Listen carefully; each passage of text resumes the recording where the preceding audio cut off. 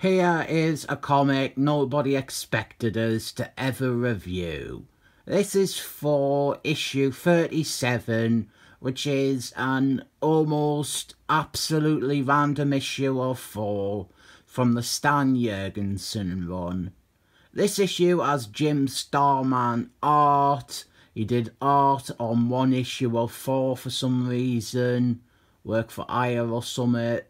But I love this run and this issue as one of my favourite Thor baddies and also some heavy teasing of the major plotline slash long form story arc that begins in a few issues time on the book called The Reigning. Really good stuff.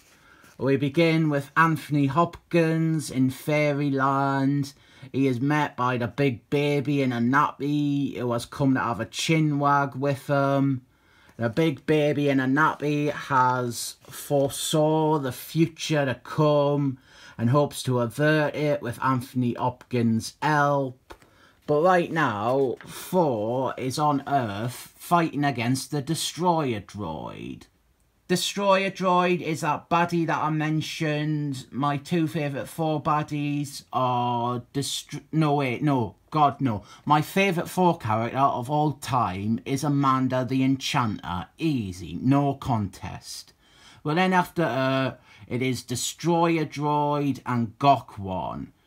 Two very similar characters. Big, undefeatable tanks that Thor barely stands a chance with and then Amanda the Enchanter, who is, as far as I'm concerned, of a quality that far exceeds anything else in Thor's stable of characters.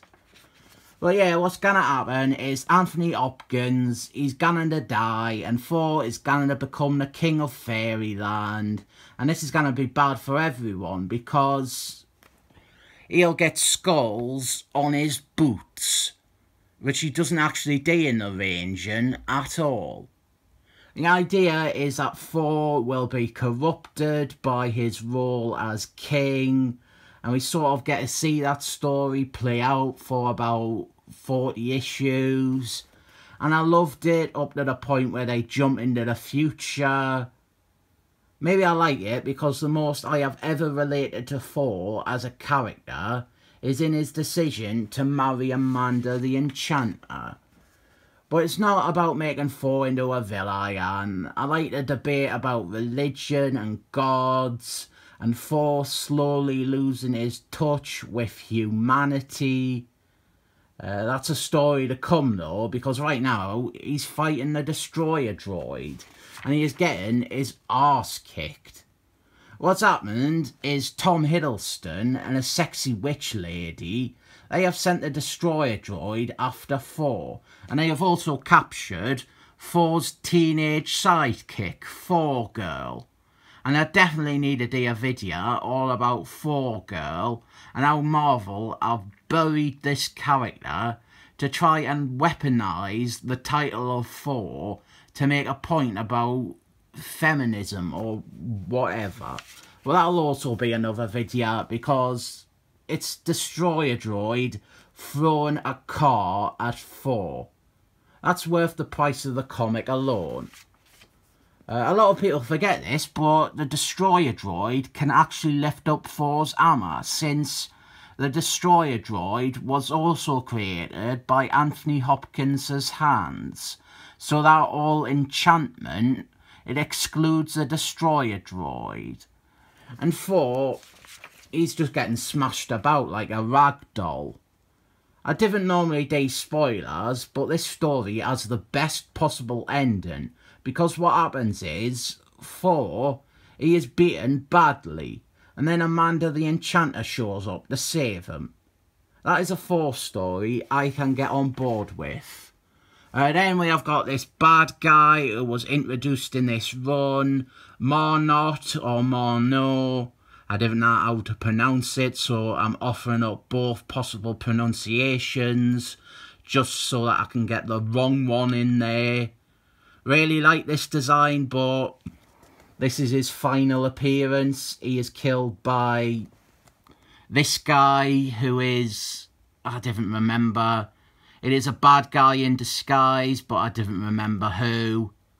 I would have thought Tom Hiddleston if he wasn't off banging that sexy witch lady while Thor girl watches.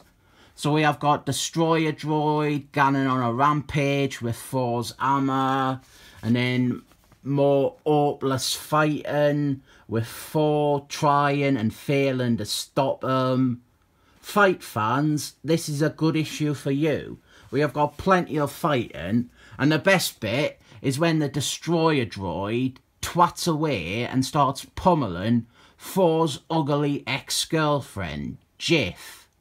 This comic has it all, really. Well, it has it all except a resolution, because that is the next issue's goal.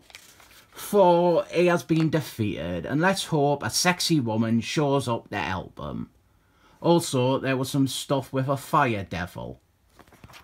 I like it for issue 37, or if you look closely, 539.